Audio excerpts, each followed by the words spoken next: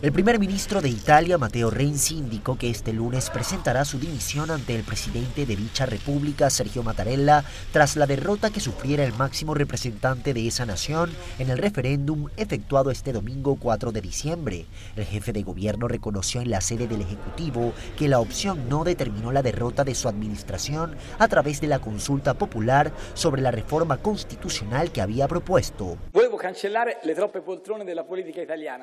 Yo quería disminuir los numerosos asientos en la política italiana, incluyendo el Senado y los gobiernos provinciales, pero no he tenido éxito.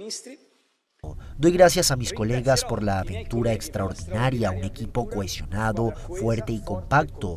Voy a ir al Palacio del Quirinal, donde voy a presentar mi renuncia al presidente de la República.